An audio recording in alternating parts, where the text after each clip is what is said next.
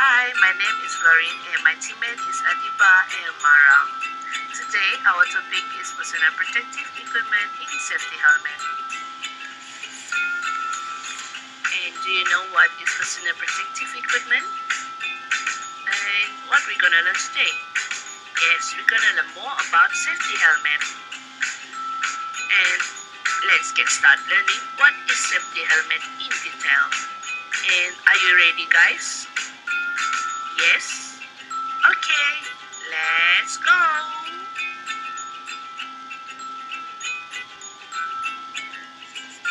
First, what is personal protective equipment?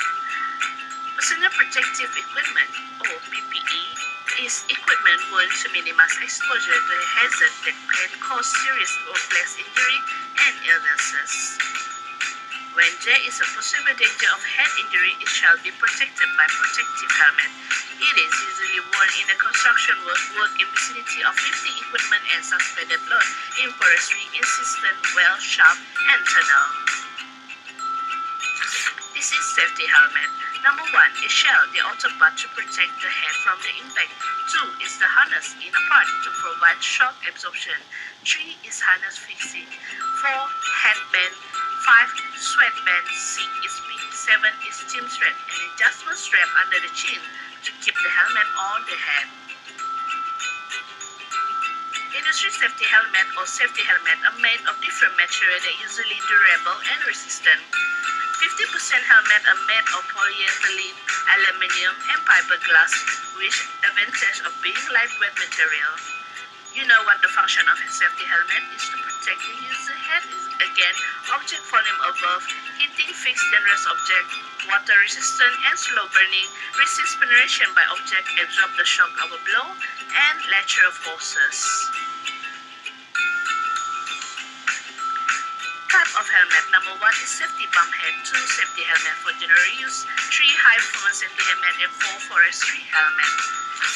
Number one, safety bump head.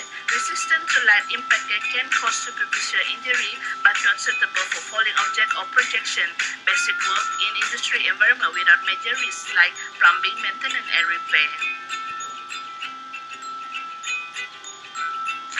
Number two is safety helmet for general use. Protection against falling object and preparation by sharp object, which suitable for worksite construction.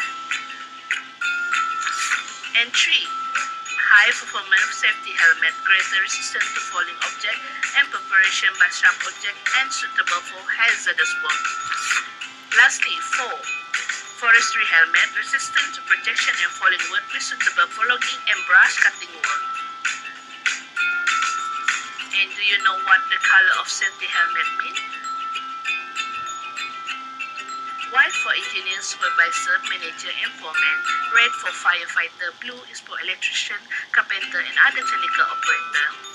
Yellow for laborer and earth-moving operator. Brown for welder and workers with high heat application. And green for safety officer. And lastly, gray for site visitor.